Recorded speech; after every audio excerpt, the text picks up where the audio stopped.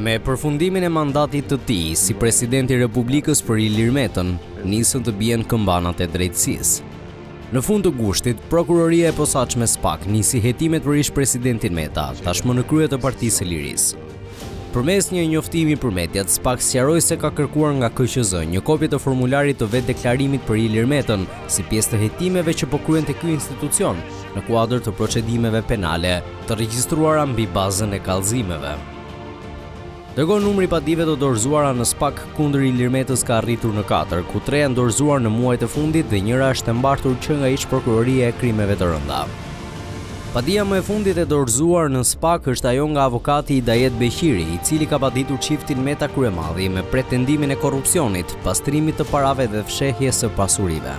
Në padinë e tij, Beqiri radhit dy raste kur sipas tij, Meta dhe Kryemadhi kanë kryer trajtime mjekësore me vlera kolosale. Trajtimi për Kryemadhin është bërë në San Marino me një vlerë dyqind e tetëdhjetë e shtatë mijë e gjashtëqind e pesëdhjetë euro, vlerë kjo e paguar nga një llogari bankare offshore. Kurse Meta është trajtuar në Vjenë përgjatë viteve dy mijë e trembëdhjetë dy mijë e katërmbëdhjetë. Pjesë e padisë janë edhe dy fëmijët e çiftit Meta. Dosja e parë e hapur ka të bëjë me lobimin në SHBA të Lëvizjes Socialiste për Integrim me vlerën gjashtëqind e nëntëdhjetë mijë dollarë, para këto që nuk janë deklaruar as në KQZ dhe as në ILDKP. Procedimi penal u regjistrua që në qershor të këtij viti nga ish-deputeti Halit Valteri. Valteri akuzon Ilir Metën për korrupsion aktiv dhe pasiv në sektorin privat, për fshehje të pasurisë, mospagim të taksave dhe tatimeve, si dhe shpërdorim detyre.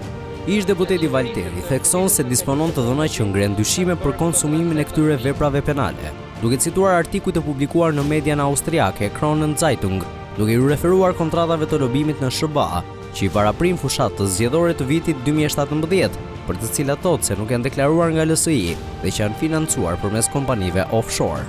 Ky kallëzim është pasuar nga një tjetër depozitim nga ana e ish-deputetit Valteri, tashmë për ish-presidentin Ilir Meta, asokohe në detyrën e presidentit, kryetaren e LSI-së Monika Kryemadhin, deputetin Petrit Vasili, ish-ministrin e Bujqësisë Edmond Panariti, kandidaten për deputete të LSI-së Elona Guri, biznesmenin Muharrem Berisha. si dhe Iris Zajmin, Elena Gace, Jori Prifti dhe Agron Xhafa.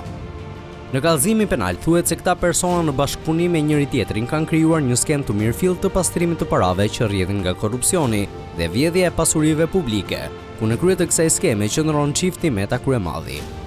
Një tjetër çështje e mbartur është ajo e aferës CEZ DIA, ku Meta është paditur bashkë me ish-kryeministrin Sali Berisha. Kjo dosje është ndër të vetmet që bën bashkë dy nga figurat më të rëndësishme të politikës së dekadave të fundit në vend, çka e bën atë edhe një ndër dosjet më të nxehta në spak. Padia u regjistrua nga juristi Romeo Kara në vitin dy mijë e shtatëmbëdhjetë. Në padinë e tij, juristi Kara ka dorëzuar treqind faqe me informacion, ndërsa ka bërë një renditje të argumenteve të tij se përse kemi vepër penale. Janë dhjetra fakte dhe argumente ku implikojnë Berishën në krye të qeverisë dhe Metën në atë kohë ministri i Jashtëm, për këtë aferë korruptive që nga firmosja e marrëveshjes dhe deri te favoret me ndryshimin e çmimit.